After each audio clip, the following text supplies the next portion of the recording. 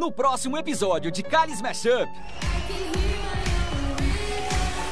Rainha, foi a melhor parte do seu aniversário.